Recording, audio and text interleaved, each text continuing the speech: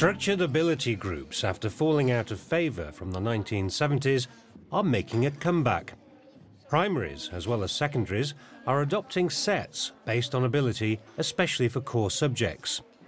But they don't come with any guarantee of improved achievement. That depends on how they are run and organised. One junior school, which has been singled out by Ofsted as a top 20 outstanding school excelling against all the odds, is in no doubt that its success is due in good part to ability sets for numeracy and literacy. We visited the school to find out how setting is applied. Key to the school's approach is making the right assessment of every child and then moving them promptly upwards or downwards. The sense here is that most parents and children are happy with how it works.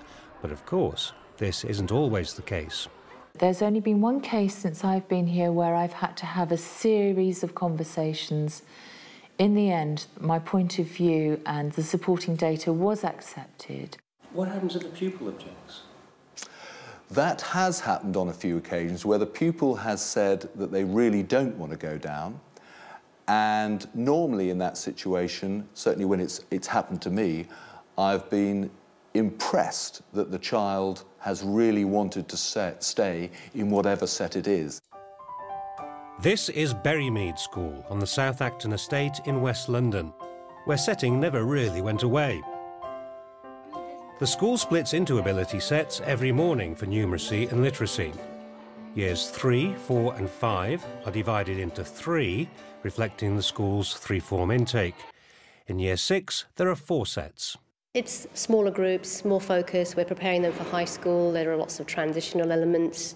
It's not just about the academic side of things. It's about building up their self-esteem, preparing them for high school and other things that they will uh, come across. So there are many things, many dimensions to year six. We visited each of the year six sets, moving from bottom to top. 100 centimetres equals Meter. One metre. Yeah, good. Pupils are initially placed into sets based on Key Stage 1 results. After that, progress is assessed with formal tests every term for numeracy and every half term for literacy. It says all together. What does that tell you? Which of your operations are you going to have to use? Addition. Addition. And then this one's a really easy one. What's what's the sum we're going to do, Zainab? 23 and 22 and 14. Right, okay, then off we go. But there's almost continuous assessment carried out by the class teachers. It is literally done week by week as each piece of work is done literally on a daily basis, every numeracy hour, every literacy hour. So a child, if they have performed absolutely brilliantly for a week or two weeks, the teacher will notice that immediately and almost this child is too good for the work that I'm setting. Now, rather than, than having an extension work within that class, far easier to promote the child, fantastic, great for confidence, and up they go to the next set up. I've got a child in my maths, my maths, middle maths set at the moment who, who has come up from the special needs set.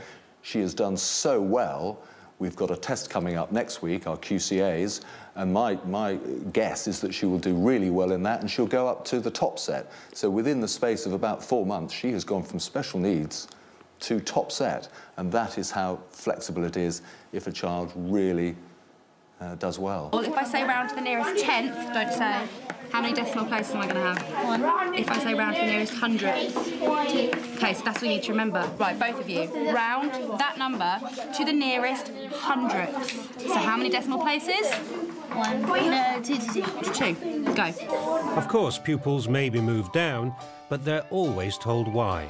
There's a conversation that takes place between the teachers um, and the child.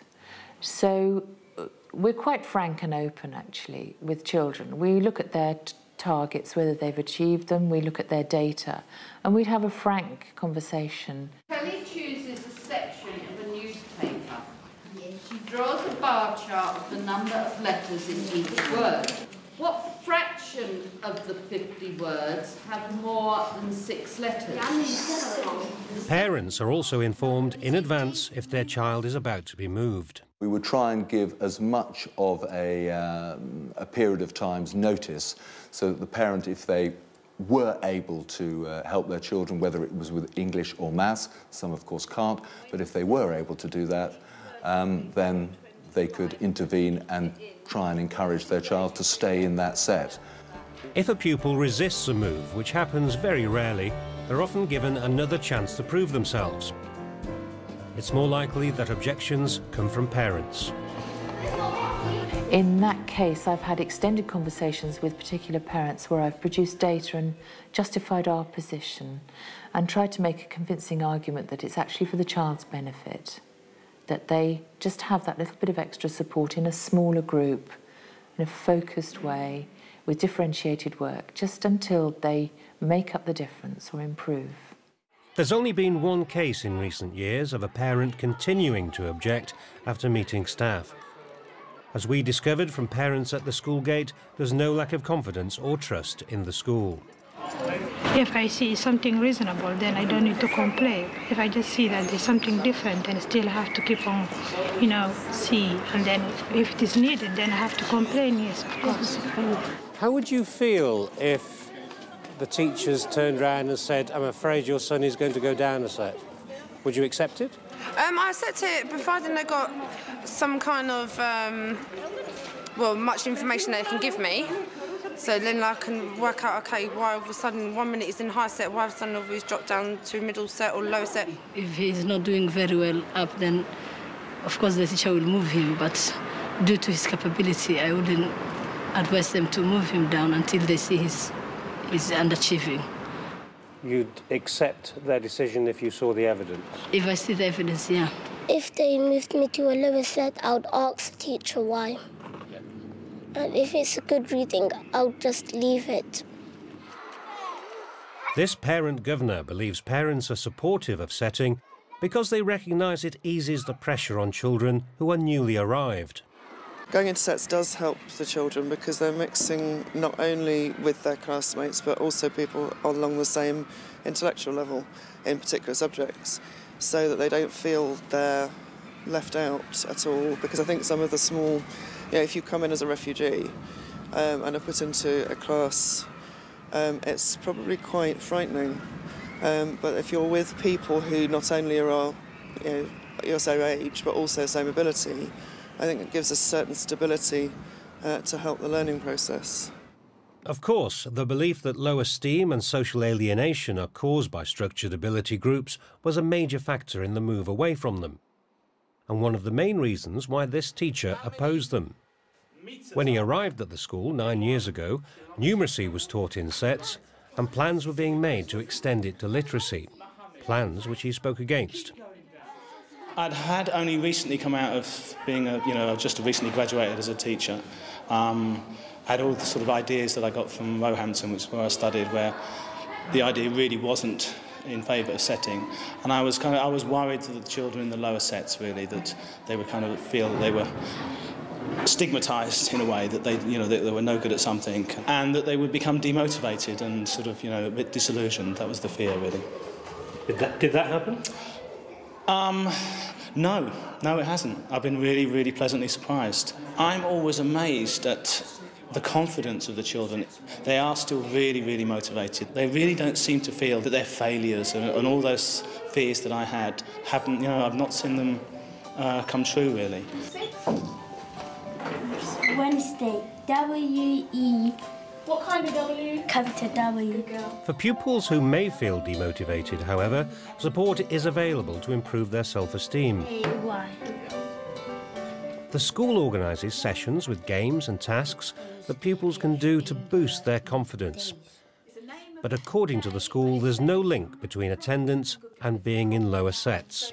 Although I haven't uh, done a, a correlation study of self-esteem, self-esteem groups and lower sets, I mean, I think that um, there is not um, a massive impact on self-esteem, but if there is, it's picked up by teachers and teaching assistants, and quite often it's the teaching assistants who will pick up and come to me as the SENCO and say, look, I think this child would benefit from a term's worth of small group work on self-esteem or surrounding issues.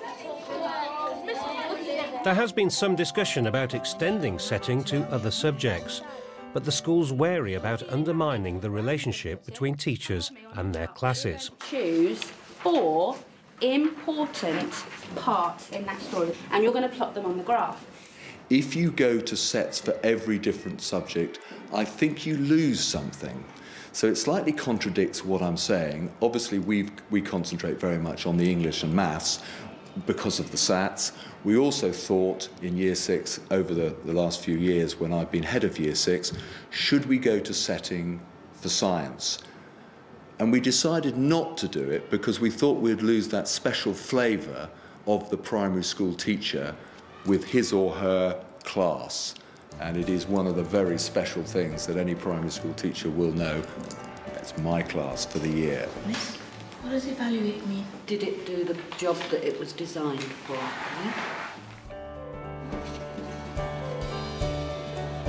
What we're going to do today, we're going to do some shared writing. We're going to create an advert for Hannah's mobile phone. Okay? Let's have some ideas. Drill demolition.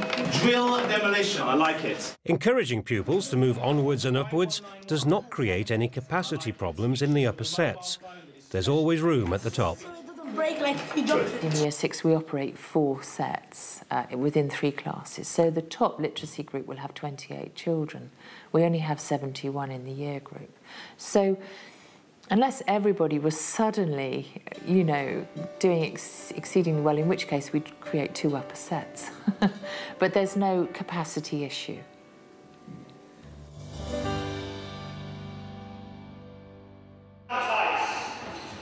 There's also a drive to improve away from the classroom. School sports teams excel in local tournaments, and pupils can be seen pushing themselves in sports old and new. This pupil is a champion cup stacker, with hopes of competing in the World Championship. It's an ethos of needing to succeed that the head is keen to promote and happy to defend. There's a competitive kind of feel in virtually everything we do here. Uh, you've had a taster of our sports. Um, we've won the local sports championships for about eight years running, bar one year. It may have been considered unhealthy in the past, it may still be considered unhealthy, but we found that for our children to have that competitive edge is vital.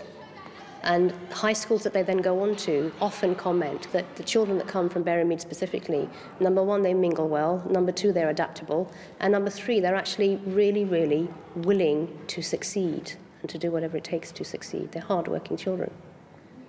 Isn't it putting children under a lot of pressure? Perhaps, but isn't that what life is about these days? It is when you're an adult, not when you're a young child. But I think um, if, it's, if it's done in a safe, secure, healthy environment, um, I think you don't end up with children who are terribly stressed about these matters. It's considered to be healthy to be a little bit competitive. And again, it's to, it's to their ability, it's to their, their own individual needs. The ability grouping debate is bound to continue, but whether you approve or disapprove of setting, there's no denying that some children are in a class of their own.